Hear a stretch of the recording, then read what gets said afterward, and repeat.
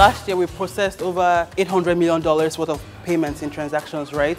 And the year before, it was about $100 million. And so we grew over 800%. So guess what? The point is, if you grow, we grow. On Rave, you don't need to um, have a operations team in or uh, in the USA or set up a bank account in the USA. All you need to do is get on Rave, sign up, start doing your business. Do brands create stories or do stories create brands? Because people think narratively, and with every brand, there's always a story. It's a chicken or egg situation.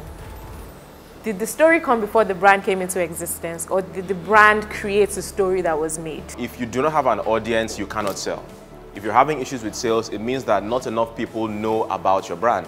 If people know about your brand but are still not buying, it means that not enough people are engaged in your brand. Don't be afraid to evoke emotions. It could be any type of emotion, but let it not be sadness. People don't spend when they are sad. Legit sad. It's not social media sad. Social media sad is when you take pictures of your, yourself crying.